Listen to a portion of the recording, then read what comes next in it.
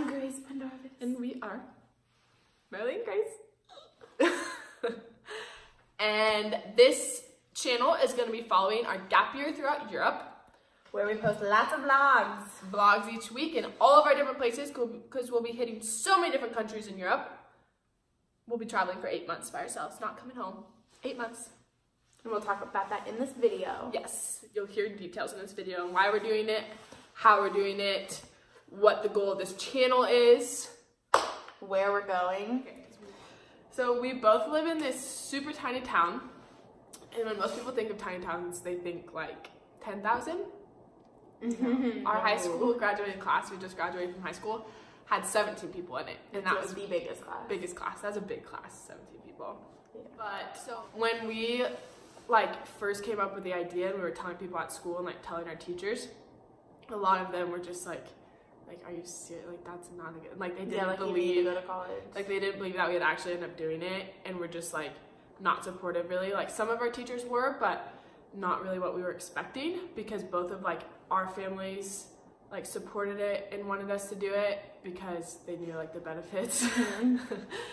um, so I mean that was kind of, but it didn't really stop us because we knew we wanted to do it. So we decided this in February. Like, Feb- yeah, January, February. September now. So that was like halfway through our senior year. So Uh-huh. the whole first part of We senior were year, like we were- like college yeah, we were scholarships. planning on college, and like I had been kind of thinking about doing this, and I was like, no, like I don't really want You to. went and toured colleges. Yeah, and and then I, like I saw this photographer post something on Instagram, and I was like, and it was a travel picture or something, and I was like, I could be doing this. Like I could be traveling, taking pictures. Why am I not doing it? And then I had the idea, and then Grace And was like, yeah, she was gonna do it alone by herself, which is weird to think of now. But then I was just like, yo, why don't I just come with? That'd be So- dope. so why are we doing this crazy thing? I don't know, man. I don't know. You I hated that. Uh, yeah. We do know why, actually. We do. We, We- she's we the one with words. prepared. Okay, so why?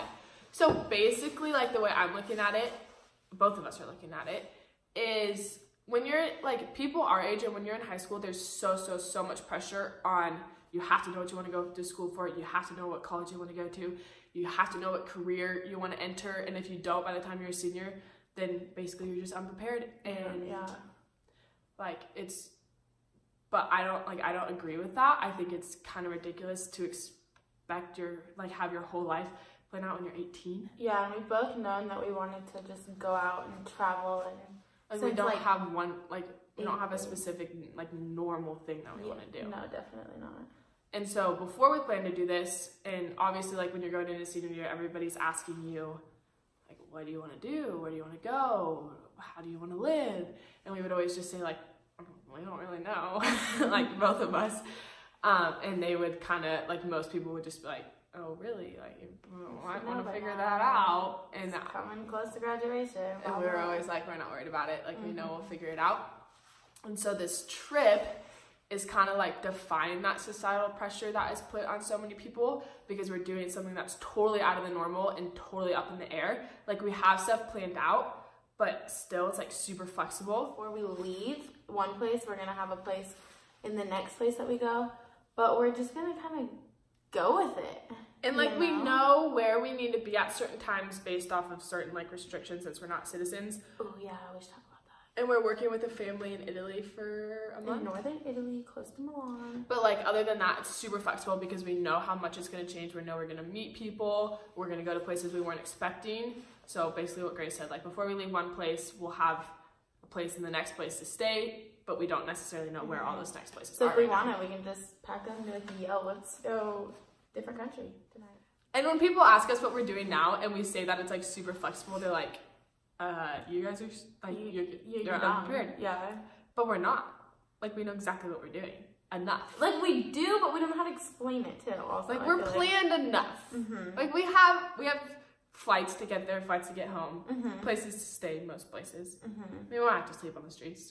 Just not sleep, not eat sometimes. We won't. We might have to starve because we might run out of money. yeah.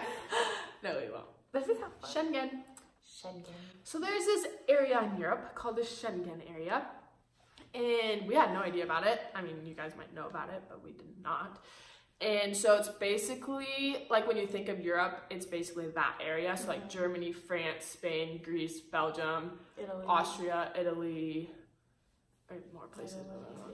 And so if you're not a citizen, you can only be in that area, like without a visa, you can only be in that area 90 days. three months, 90 days out of a six month period. It doesn't have to be consecutive three months, but you can't, like, you can't spend three months there, leave for two days, and go back. You have to spend three months, leave for three months, and then you can come back. Mm-hmm. So learning that, we had to change Yeah. quite a bit. And so it's kind of a blessing in disguise because we're spending more time in Ireland and the UK because that's not part of it. And then we're going to like Croatia and Romania, which we weren't originally going to go to. because that's not part of it either. That's not part of it, which look so cool. Yeah. So cool. I've got goosebumps. I'm so excited. We're so excited. It's insane. Um, so we leave right now. It's September 10th, 10. And we leave in two weeks. We leave on September 24th. Right. Each week we'll post a new vlog based on where we were that week and what, we did, that week. And also, we're not so we're gone for eight months, which you think like, oh, you need a lot of clothes for eight months and a lot of stuff. No, No. man. We are packing all our stuff in backpacking backpacks. And if you want to, we're gonna vlog that and you can see what we're Yeah. packing. We'll vlog our packing because basically, we're yeah, not we can't pack that much stuff, but it's kind of fun. Yeah. It's like we're living out of backpacks for eight months.